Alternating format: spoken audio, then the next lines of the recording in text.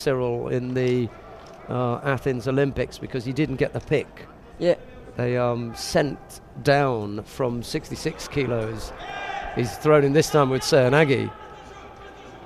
You, you got to like him, haven't you? There's a big guy dropping down for the drop Seoinage, and he's tapped Big. out. The Kazakh's tapped out, and um, Masamba takes a bronze medal in his first. Oh, it wasn't a Seoinage at all because he had the leg in there, and the Harai Goshi got wrapped up and he's caught him behind the the knee.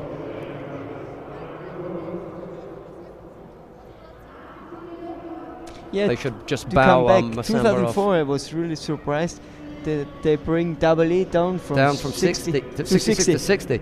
Did, did you see him in Athens? Yeah. Did you see him? I couldn't believe it. I've never seen anybody that looked so pale. His skin was paled, uh, pale. He was drained, he, he, and he was so weak, Ludwig. He couldn't do anything. And I was mat. surprised because there was Dumas and Seoul, they were four and five ranked in the In- the- European in- rank That's list. right. They should have sent um, Soyer. They should have sent Cyril Soyer for me. Um, and then at 66, they they sent Labi Ben Boudaoud. That see, that was the thing. They wanted Benboudaoud to go at, at 66, but they didn't know what to do with Darbelet, so they gave him the 60. But it was too big a uh, too big a drop. And I mean, not long after that, he went to um, 73, anyway. You know, so I'm joined here by uh, Ludwig Paischer. And um, nice to have you along, Ludwig. For me, it's for- also a pleasure to be here. Ah, great that you could uh, come here. You're looking forward to the next um, next competition. Where are you next? Um, before the Europeans, I'm fighting the Austrian Championship. Okay, We have in the beginning of March. nice. So you get a little run out at home. Yeah, and to lose the weight again, uh, small competition. And for the rest of the team, it's the last years. Too much. Too much. He just needs to get used to um, uh, the the different levels in strength. I think, and not psychologically think, "Oh my goodness," in the arm up at- with, you know, stronger guys. He's Yeah. strong. He's a big guy. When he took his um, jacket off uh, earlier on, you know, he's got a big frame, and um, he's not at 90 kilos yet. By the way, he's still got a couple of kilos to go. So, as far as comfort is concerned, that's a great position to be in. He avoids the. Ippon, but the yeah, um, and he gets away with a Yuko.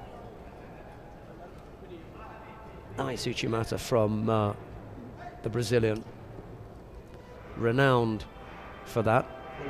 There we go, with the replay. just not up on the thigh. He catches him down on the inside of the knee, and maybe as a result of that, doesn't get him high enough up, and then hasn't got the rotation for the full full ippon. But uh, he leads here by a Yuko.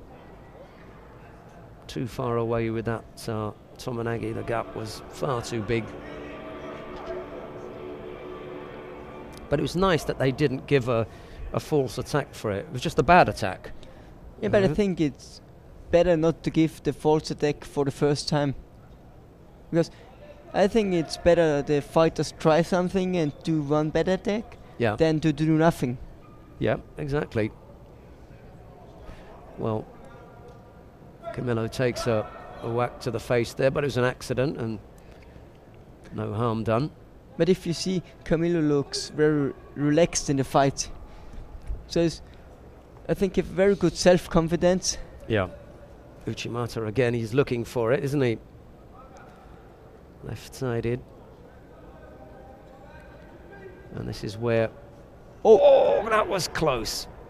That really was close. The legs, you could see Camilo's legs almost begin to rotate as that big Harai Makikomi maybe from uh, Percy almost had him going. Shame, that was a good move from Camilo to, No, to collapse it. Well, I thought there was a chance for the Shimewaza there. I don't know about you, from Percy. I think it was over the nose. Yeah. He goes around the um, the head again.